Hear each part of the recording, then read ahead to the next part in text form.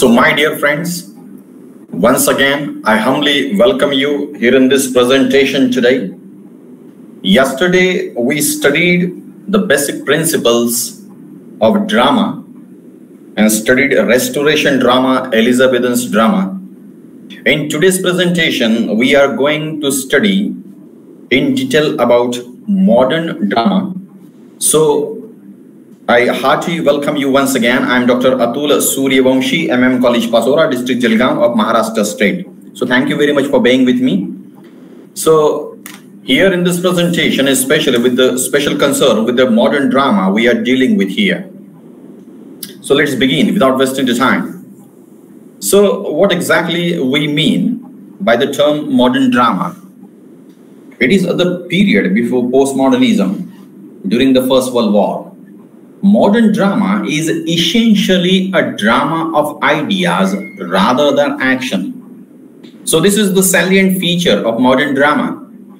That in present modern drama, you know, ideas are very important than action. Action is not important. Ideas are important. So note this point. Modern drama focuses on common people and everyday problem so what happened in restoration and in Elizabethan's drama, the mostly the characters, they were from the elite class, high class, generally the nobleman, the king, okay, like this. But it is not the case here in modern drama. Most of the characters, they belong to the common life. Everyday problem has been presented in the modern drama and this is one of the salient features. The next is alienation, disconnection, realism, isolation from the life, aloneness of the human beings are the select themes presented in the modern drama.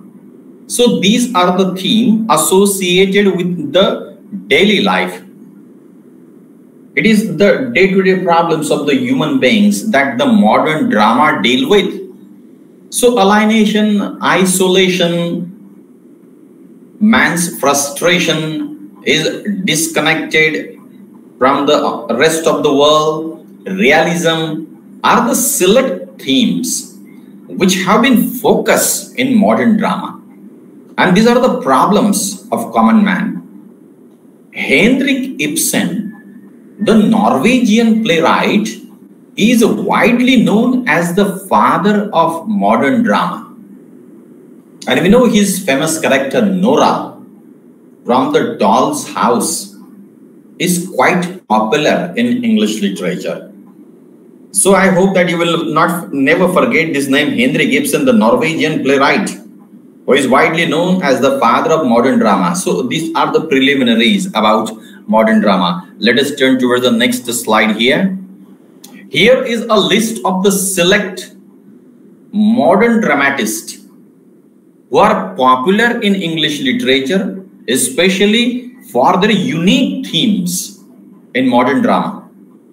Let's begin with the father of modern drama, Henrik Ibsen. His period is 1828 and he passed away from this world in 1906. The second important personality is Oscar Wilde, who born in 1854 and passed away from this world in the year 1900. The next man who is the recipient of the Nobel Prize in 1925 and widely known as the BBC scholar He worked in British Broadcasting Corporation, none other than George Bernard Shaw, was born in 1856 and died in 1950. His drama of ideas are quite popular in English literature. He is anti-romantic person and never allows almost his hero and heroines, they are separated from each other and they never meet. So G.B. Shaw is known as an anti-romantic personality in modern drama. The next literary person is Anton Chekhov, the Russian writer who born in 1860 and passed away from this world in 1904. The next person who again received Nobel Prize in 1932, John Galsworthy, born in 1867 and died in 1933. The next person who is quite popular in the modern English drama for writing the sea adventures, J.M. Synge. 1871 up to 1909 is the time period of J.M. Synge. The next personality is Eugene O'Neill from America, was born in 1888 and passed away from this world in 1953. The next man who received Nobel Prize in 1948 for his superb contribution in poetry, Thomas Stearns Eliot, means T.S. Eliot, was born in 1888 and died in 1965. So, the next person is Bertolt Brecht, born in 1898 and died in 1956. The next man is Samuel Beckett, was born in 1906 and died in 1989. Samuel Beckett again received Nobel Prize for his super contribution in literature. He received it in 1969. Then the French writer Eugene Ionesco, born in 1909 and up to 1994. Tennessee Williams, the American writer who is white widely popular for his drama Streetcar Named Desire, was born in 1911 and passed away from this world in 1983. The next person is Arthur Miller, was born in 1915 and passed away, died in 2005. The next literary person, dramatist Kingsley Amis, 1922, 1995 is the time span of Kingsley Amis.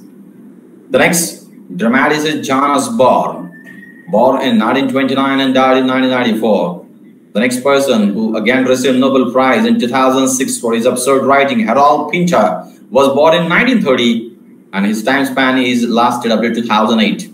The last person which has been mentioned here in this slide, who is quite popular for Gildenberg's and Rosencrantz and Gildenberg's are dead, none other than Tom Stoppard was born in 1937. So these are the select modern dramatists I humbly request you to study all these dramatists in detail for the sake of examination. Collect as much information of all those dramatists. You know, this is merely a sample which I am going to present you. This is time-bound activity as I told you already. So without wasting the time, let us turn towards the next slide here in this series and focus on the father of modern drama, Henrik Ibsen. So Henrik Ibsen is the great Norwegian dramatist of the 19th century and he dominates the realistic drama. He brought realism in the drama. Now, drama does not depict unrealistic things. Drama before the writing of Henrik Ibsen were based on imagination were based on somewhat the life of the elite people, upper class people. But after Henrik Ibsen, you know, the train, a new train was initiated in the writing. The common man's life has been presented in the drama. So he developed modernist, realist, social, and psychological dramas. So his selected dramas are pillars of society in 1877. After that, A Doll's House, which was published in 1879. As I told you, Nora is the famous character from A Doll's House. The next is Ghost, 1881. An Enemy of the People, was published in 1882, The Wild Duck 1884, The Lady from the Sea 1888, The Master Builder 1892, and When We Dead Awaken 1899. So these are the select works of Henrik Ibsen. Do not forget one thing that he is the father of modern drama, the Norwegian playwright Henrik Ibsen. Remember this. Let us turn towards his famous work, A Doll's House, which was published in 1879. So let's have a fleeting glance on the summary of this drama. A Doll's House is a three-act play about a housewife whose name is Nora Helmer, who becomes a disillusioned, disappointed, and dissatisfied with her husband. She has always been a very domesticated lady throughout her whole life. Further, Nora always does what is best for her family. All her life, men have always had an upper hand in her matters. Whether it is her father or her husband, Torvald, she gets tangled in messy circumstances because of money she borrows from an ill-reputed man, Krogstad, for her husband. Now what happens, you know, Nora's husband and Krogstad both try to control her in their own ways. So a touch of feminism is also there. She finally gets fed up all this and start questioning the foundation of everything she has always believed in. Eventually, Nora leaves her husband as she cannot handle the suffocation anymore and becomes an independent woman to explore herself. So from this point of view, my dear friends, this is somewhat a feminist work. For the very first time, you know, the Norwegian playwright Henrik Ibsen wise the female problem through Nora in Doll's House. And so is the reason this play, A Doll's House, became quite popular in English literature. In each examination, you know, a question may be asked on A Doll's House. So I request you to study it in detail. Without wasting the time, let us turn towards the next slide here in this presentation. The second important work of Henrik Ibsen is entitled as An Enemy of the People, which published in 1882. So what is the theme of this? An enemy of the people present the conflict, the tussle between Dr. Thomas Stockman, a medical officer in charge with inspecting the public bath and his brother, Peter Stockman, the doctor's older brother, the town's mayor, the chief constable, and the chairman of the bath committee, was the corrupted person who indulges himself in illicit activities. So Thomas finds the water to be contaminated when he revolts against the situation, he is declared as an enemy of the people, but in reality, it is not the doctor who is enemy of the people, it is the mayor who was the enemy of the people in real sense. So there is enmity between the two brothers and this, this, these two brothers, they symbolize, the doctors symbolize goodness and the constable, the chairman, the town's mayor symbolizes badness. So these are the conflict struggle between two opposing forces in the life. When he revolts against the situation, he is declared as the enemy of the people, the doctor. At the end of this play, Dr. Thomas Stockman decides to open a school so that he can teach future generation to think freely for themselves and fight against the corruption in politics. So remember the theme. This is innovative theme used in the drama for the very first time by Henrik Ibsen. Corruption in politics. As it is well said in English. That power corrupts and absolute power corrupt. Uh, absolutely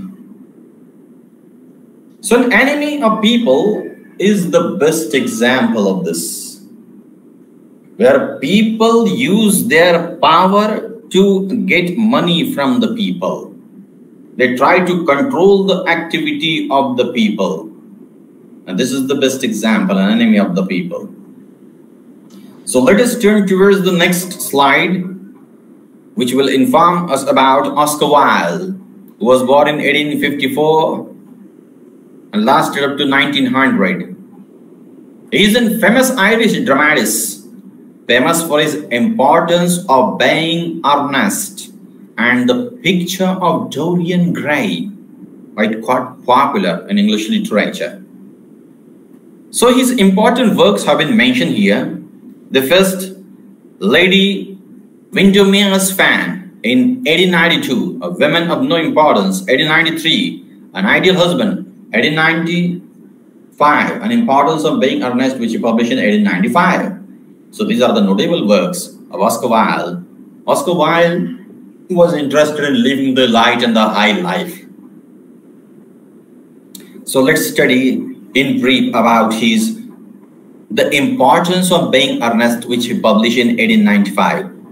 The Importance of Being Earnest, a trivial comedy for serious people, which is the subtitle of this, narrates the story of the two person, two men, Jack Worthing, who is in love with the Gwendolen Fairfax and Algernon Moncrieff in love with a Cecily Cardew.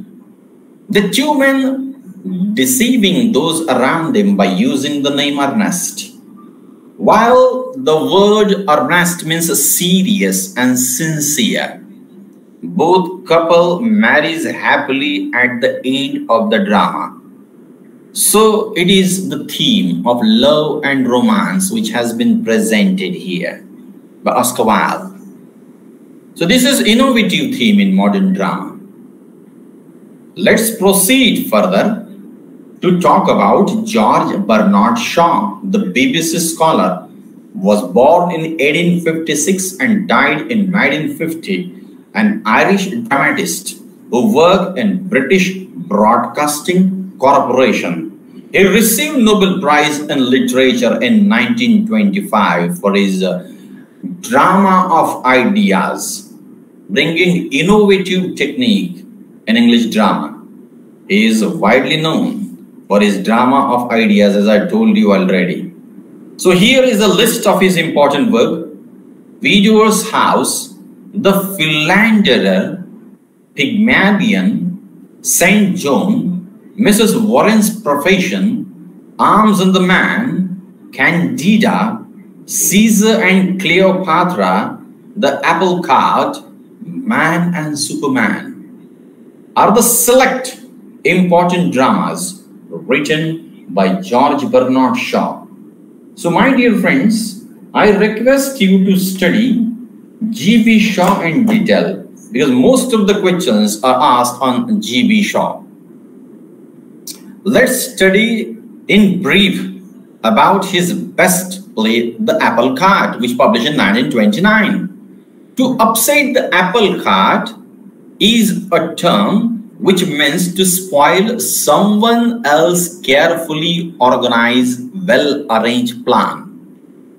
Okay? To upset the apple cart means to upset the other's plan. This is the story of King Magnus. And he's a tussle with his prime minister named Joseph Proteus. So King Magnus has a beautiful beloved Orinthia apart from his wife Jemima. King upsets Joseph Proteus' plan to make him mere rubber stamp.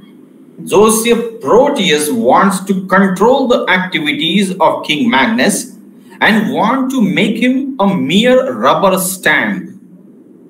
But King was very shrewd person.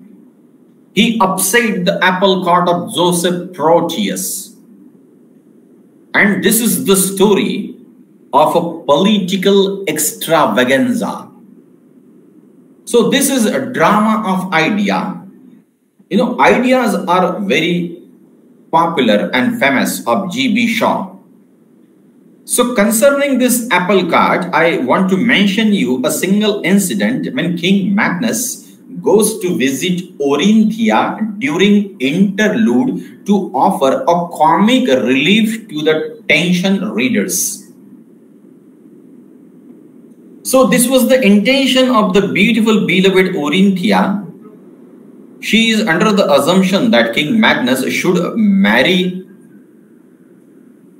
her. You know, this was the intention of Orinthia. King has already a wife, as I told you, her name was Jemima. And when she forced King Magnus to marry, King Magnus, these words are quite popular in English literature. I request you to remember these words. When Orinthia insists him for the marriage, King Magnus says, Do not let us fall into the common consideration of expecting to become one flesh and one spirit. Every star has its own orbit and between it and its nearest neighbor, there is not only powerful attraction, but also an infinite distance. When the attraction becomes stronger than the distance, they two do not come together. They crash and ruin. In the same way, we must keep an infinite distance between us to avoid a disastrous collision.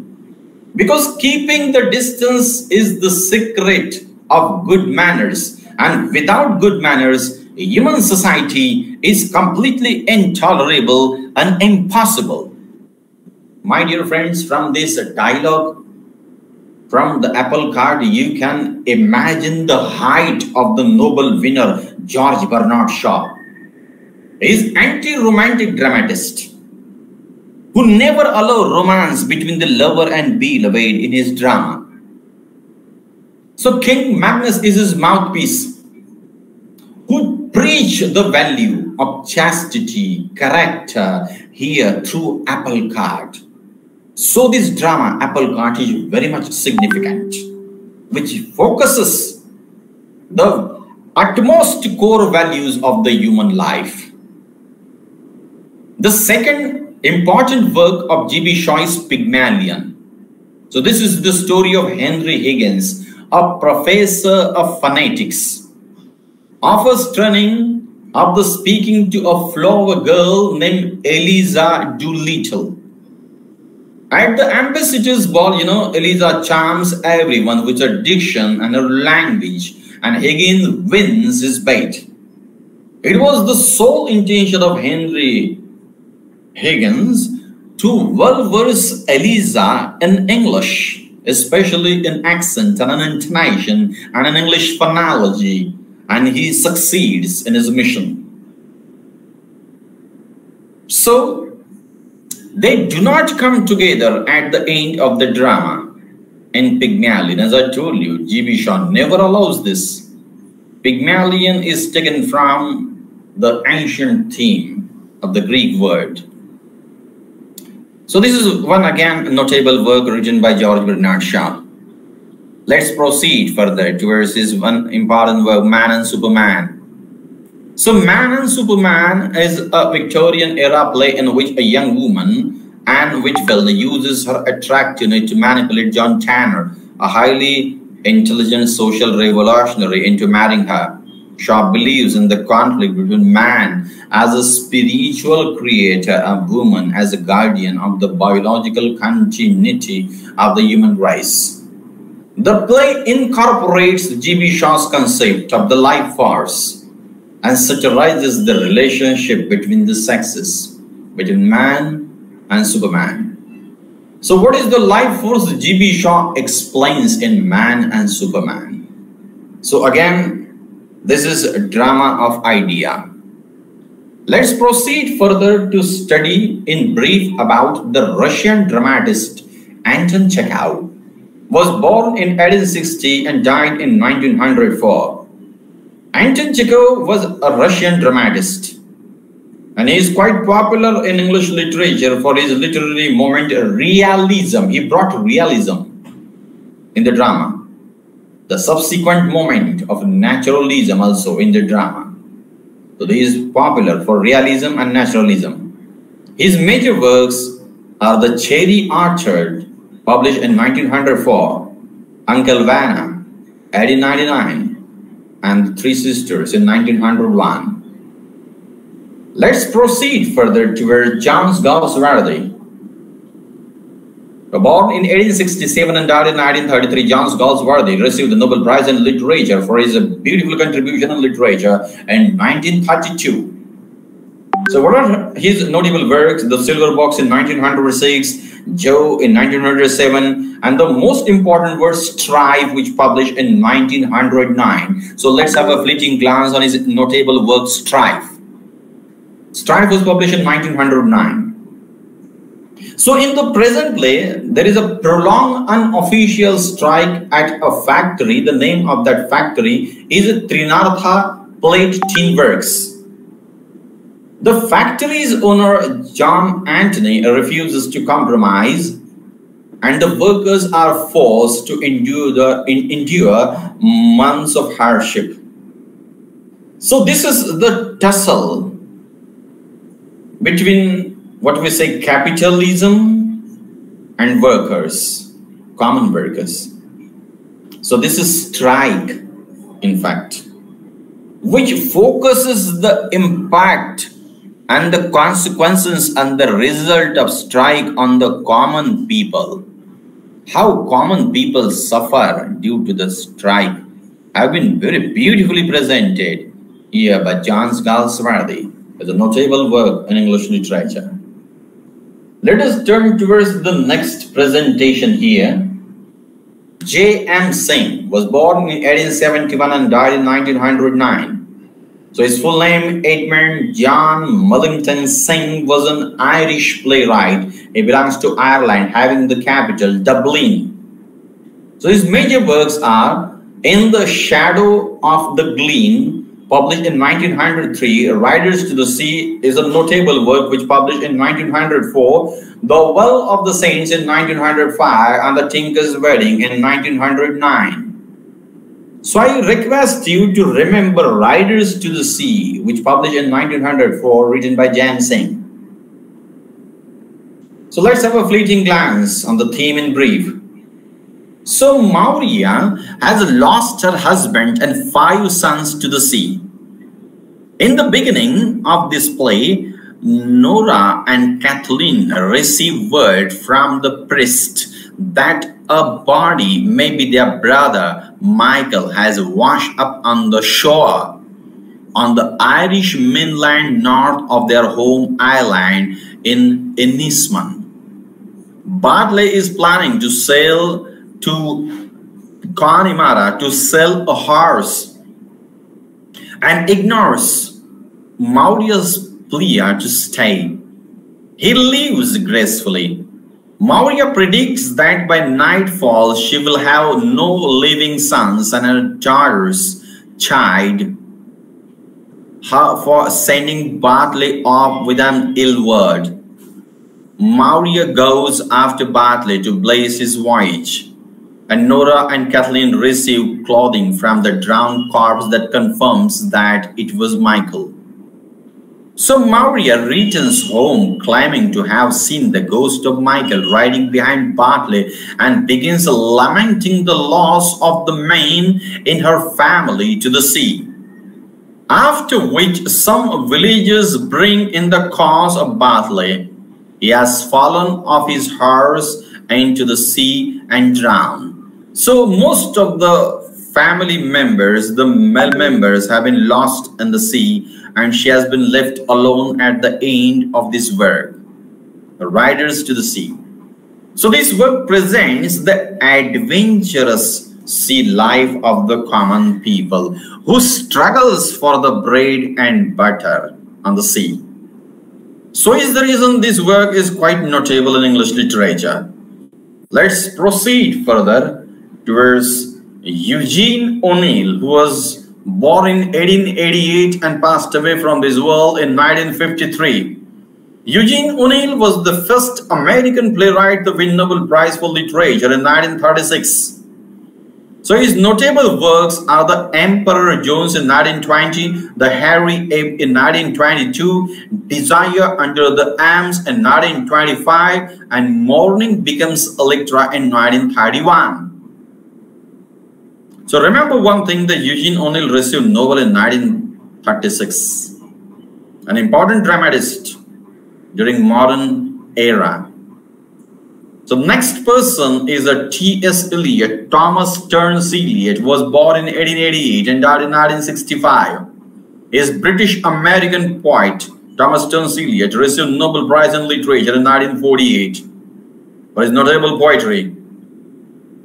His notable dramas are The Rock, published in 1934. Murder in the Cathedral is a poetic drama, the notable one, which published in 1935. The next is Family Reunion in 1939, The Cocktail Party in 1949, The Confidential Clerk in 1953, and The Elder Statesman in 1959. So I request you to remember the chronology, the dates of all the dramas because this question has been asked many times in the examination and especially focus on Murder in the Cathedral, which published in 1935. So let's have a fleeting glance on the same drama by Thomas Stearns Eliot, which published in 1935. Let's have a fleeting glance on the theme of this drama.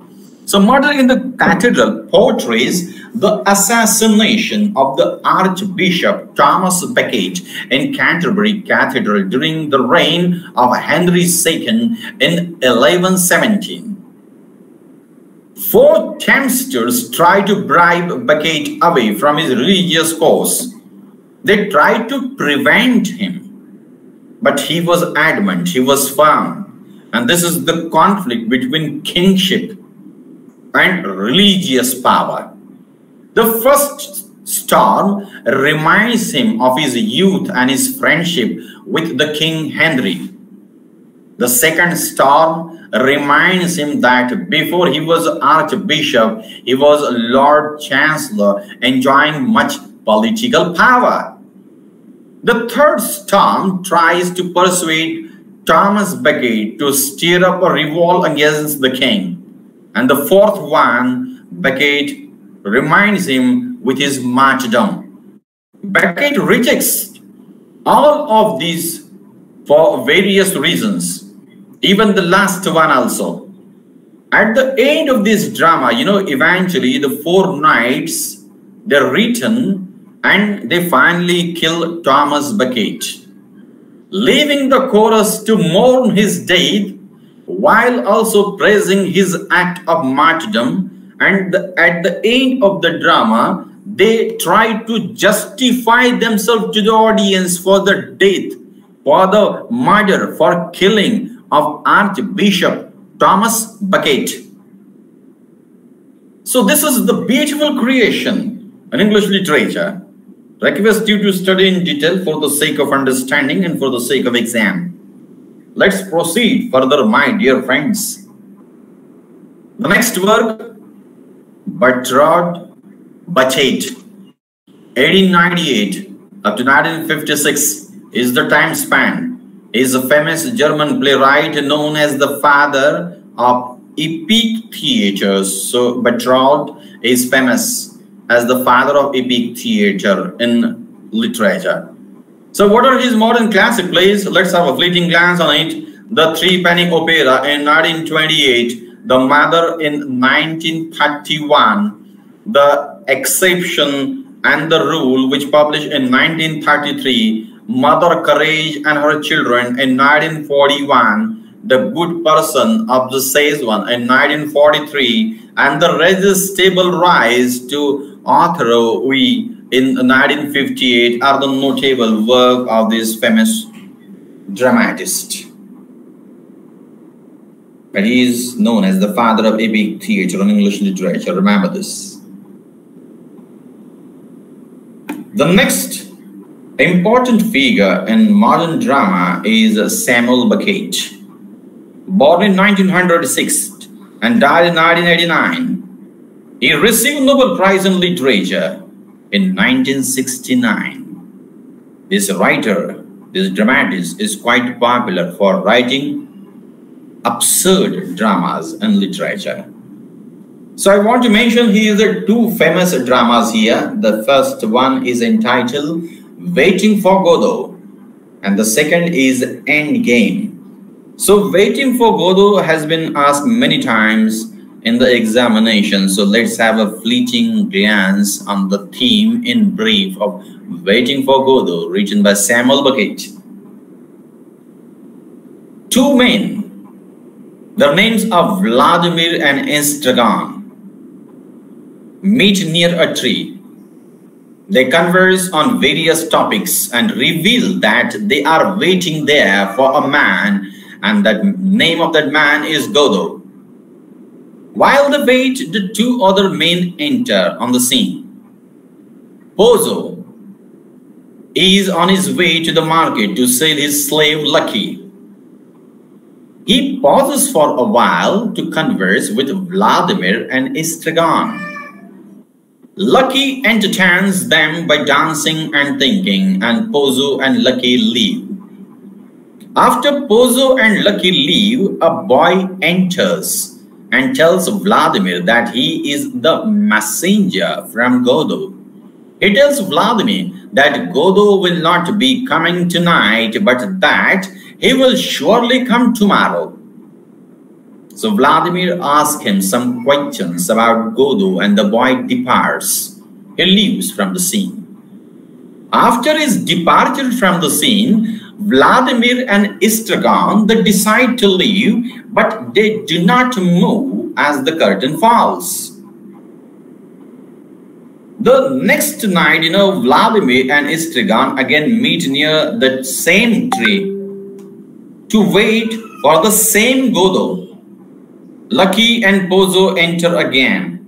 But this time, you know, Pozzo is blind and Lucky is dumb. Pozzo does not remember meeting the two men the night before, and the leave and the Vladimir and Estragon continue to wait. Shortly after, the boy enters and once again tells Vladimir that Godot will not be coming tonight again. He insists that he did not speak to Vladimir yesterday after he leaves, Estragon and Vladimir decide to leave, but again they do not move as the curtain falls, ending the play finally. So, you know, such dramas are meant for intelligent audience. They are not meant for common common people, common audience. So they are highly thought-provoking. And so is the reason they are absurd drama in English literature. So I request you to see this. Let us turn towards the next dramatist here in this series. And he is the Romanian French playwright. Eugene Ionesco was born in 1909 and last year to 1994. He is a Romanian French playwright who is known for a theater of absurd and as I told you absurdism, you know, action is not important. The ideas are important. They are highly thought-provoking drama, as I told you already. And the main theme of absurdism is uh, lack of communication, alienation, separation from man, from this earthly world and such themes have been presented. So let's have a fleeting glance on the selected plays of Eugene Ionesco. The first is Killer, published in 1958. The second, Rhinoceros, in 1959. The next one is Exit the King in 1962. Stroll in the Air in 1962. And Hunger and Thirst in 1964 are the selected notable works. Let us turn towards the next dramatist here in this series. And he is Tennessee Williams. Was born in 1911 and died in 1983. So Tennessee Williams was an American dramatist whose plays reveal a world of human frustration in which sex and violence underlie an atmosphere of romantic uh, gentility So his famous plays are The Glass Menagerie, published in 1944, and the second one is entitled as A Streetcar Named Desire, which published in 1947. So are the notable works written by Tennessee Williams. So let's have a fleeting glance on the theme of a streetcar named Desire, which is quite symbolic, which published in 1947, a notable work.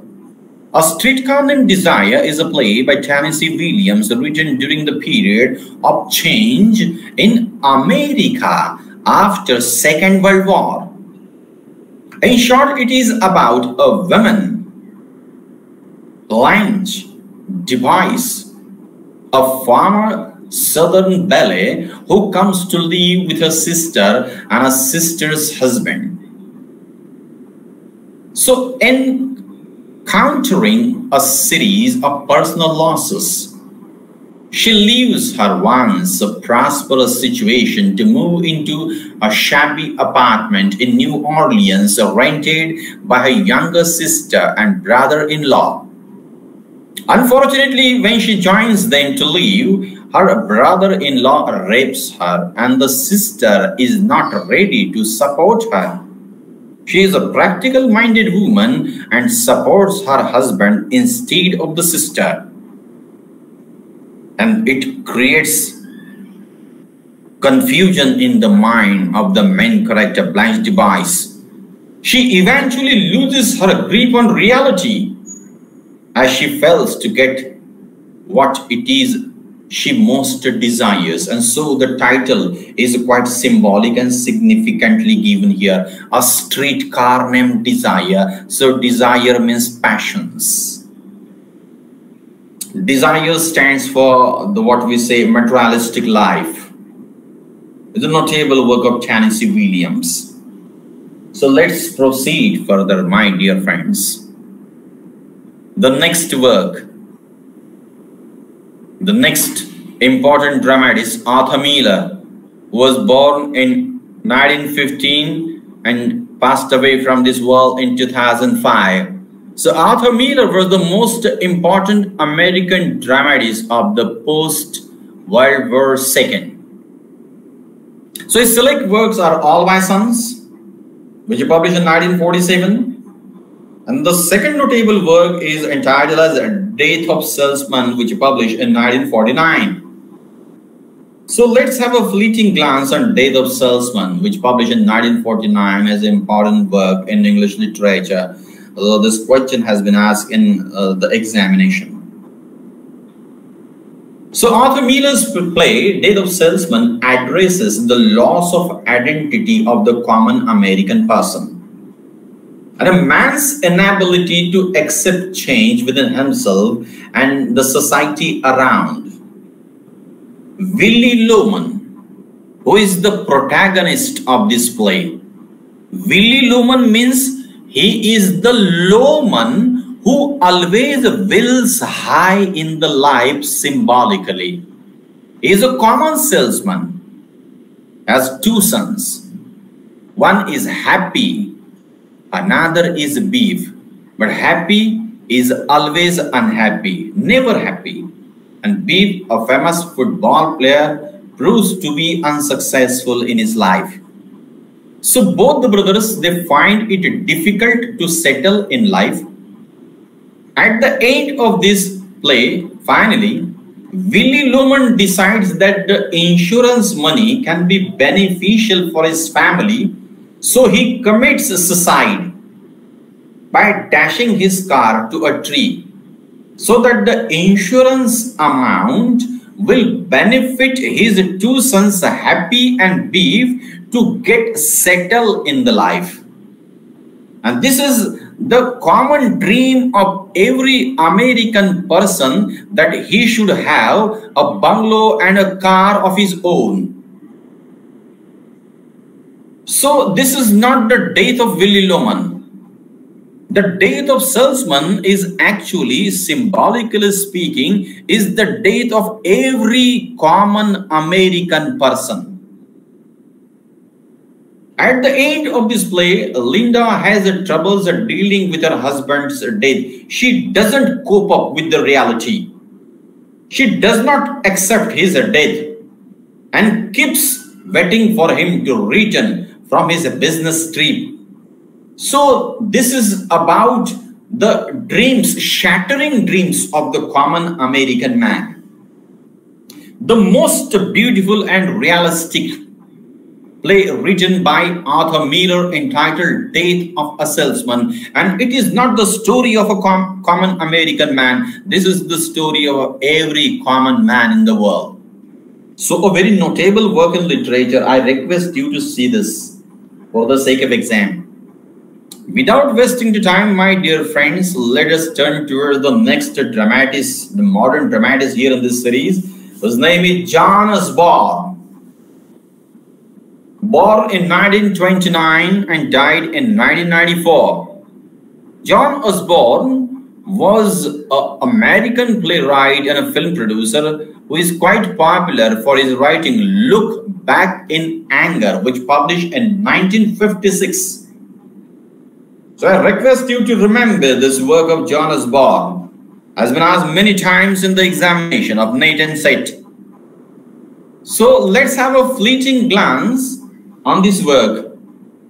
Look Back in Anger, which published in 1956, actually Osborne's play was an attack on the restrictiveness and division of the 1950s England. A yell of frustration and discontentment in the heart of the English people.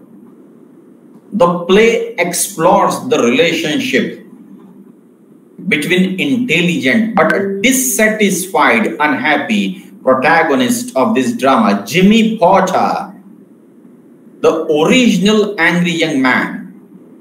And this is the story of his wife, Alison. They play the game of what we say rabbit and squirrel the conflict between the upper class and the lower class has been presented here and look back in anger in a very beautiful way in the post-war period after world war ii in england a great change in the social values took place. So this is the frustration of the common man. When after the second world war the people almost most of the people they lost their job. They did not have any work and so is the reason they feel highly disillusioned and disappointed highly frustrated and the same frustration has been expressed in look back in anger in 1956 so this is the common man's frustration which john osborne tries to portray through this work and so from this point of view, my dear friends, this work is quite remarkable in English literature. So please note this. Let us turn towards the last slide. Thank you very much.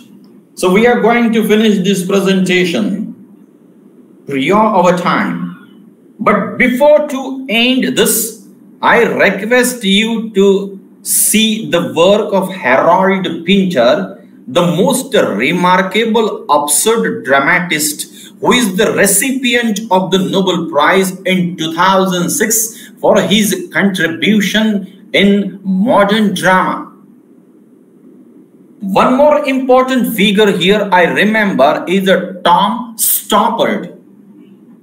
He is quite popular for Rosencrantz and Gutenberg's are dead. So this work has been asked in the examination of Tom Stoppard. So don't forget to search Tom Stoppard and the remaining dramatist which we discuss here in this presentation today.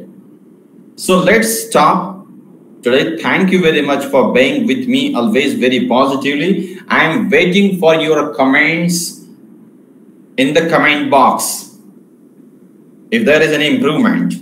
So thank you very much, my dear friends. Have a nice time. God bless you all.